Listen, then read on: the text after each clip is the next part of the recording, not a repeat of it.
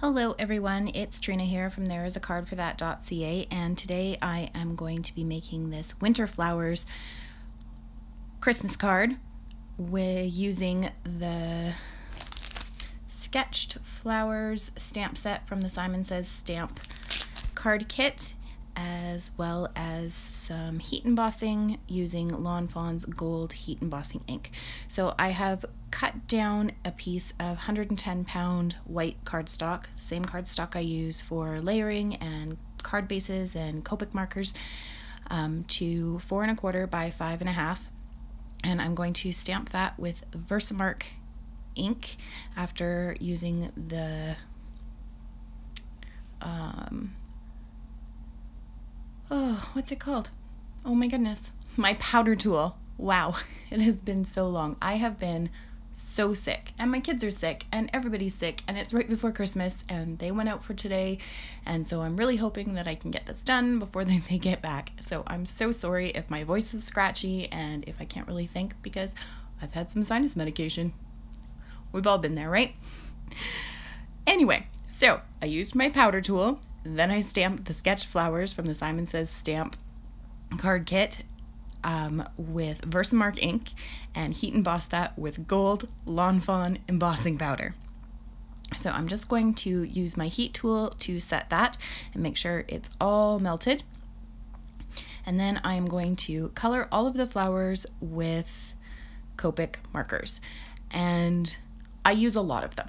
So they're all listed across the bottom in no particular order. I just went from alphabetical and then by number all the way through to the end. I wanted this to be wintry because it's still going to be a Christmas card. So I'm using some purples and blues and greens and in the end it comes out really nice. I wasn't entirely certain when I was doing this how it was going to look because I typically only use three colors when I'm Copic coloring. I start with my medium and then I fill in with my shadows with the darkest and then go to my lightest.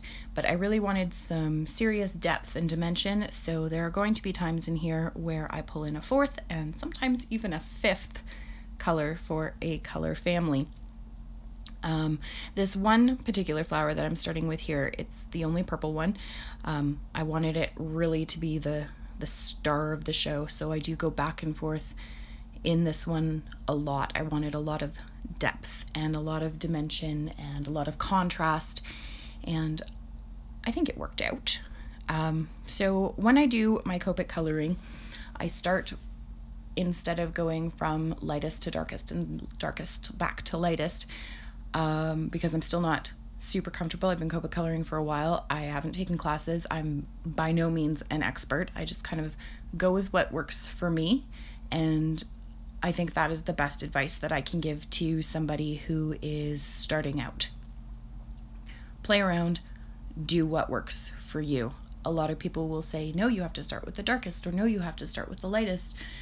Um, I've tried those, both of them, and what I find is most comfortable is using my medium shade, starting where I want my shadows and my deepest colors to be, then going to my darker shade, filling in those shadows, going back to my lightest shade, blending it all out, and then going back and adding more shadows in or blending out with the medium, depending on how big an image is. If it's an image that I've colored multiple times, I'll start with my shadows and I'll go darkest to lightest because I know exactly where I want them because I have. I've colored it half a dozen times.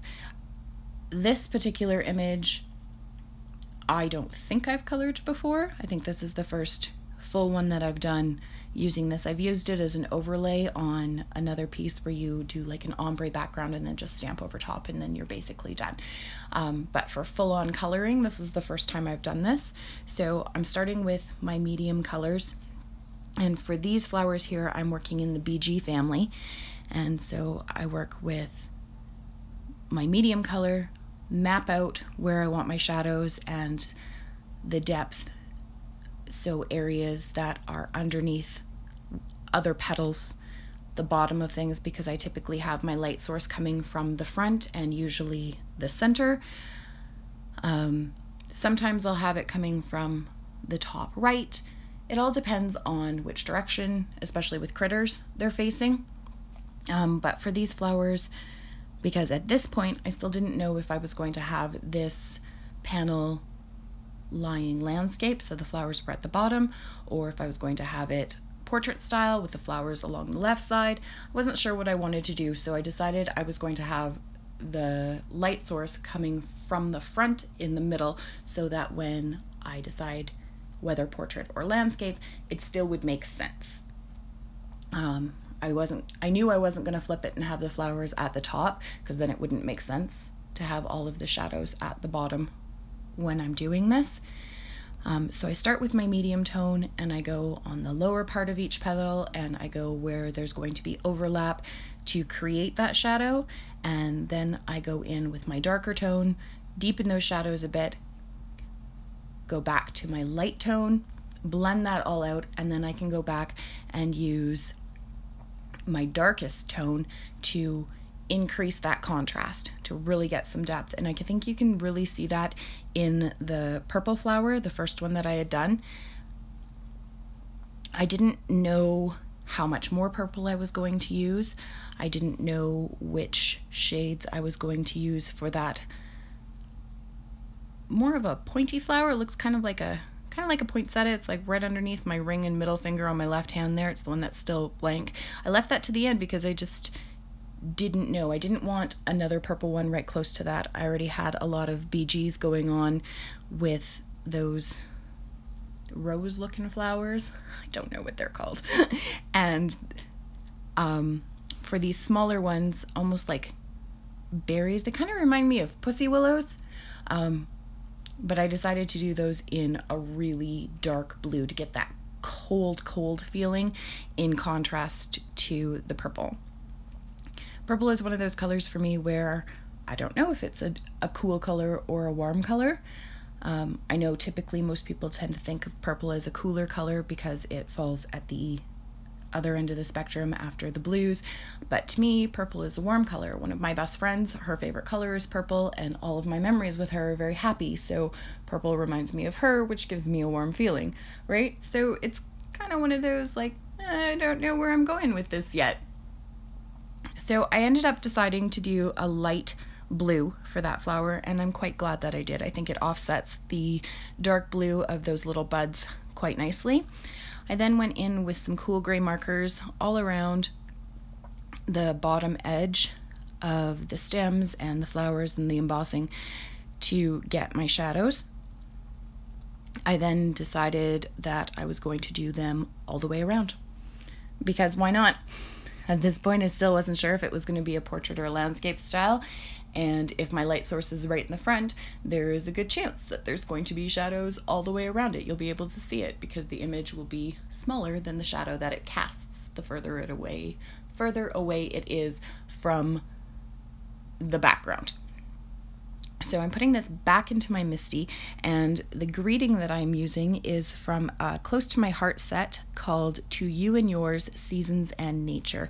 And I am using the Winter Wishes greeting. And again, I'm using my powder tool and I'm going to stamp that in the Versamark ink and then use the same gold embossing powder by Lawn Fawn just to keep that together. I had played around with the idea of doing it in black, but then I thought that there would be, I thought that it would be really clashing to the effect that I wanted to get with this piece. I didn't want the bold black outlines around the flowers, so if I had used black for the greeting, I think your eye would just be drawn to the greeting and kind of stick there as opposed to flowing all over the page. So I'm using a dry paintbrush just to get rid of some strays. It will happen whether you use the powder tool or not, though it will happen less often if you use the powder tool. And then I'm just going to heat that again with my heating heating tool. Use a lot of tools. How many times can I say tool in one video, right? um, and then of course I needed to splatter and I've played around with like just putting it on my craft mat and then picking it up with my paintbrush, and that's never really worked for me. So I just put my Perfect Pearls in the gold color right on an acrylic block and spritz it with the Distress water sprayer. And then I'm just going to flick over the edge of the acrylic block right onto the the panel. And I had cut the panel down by about an inch, no, three quarters of an inch, because I wanted a accent border.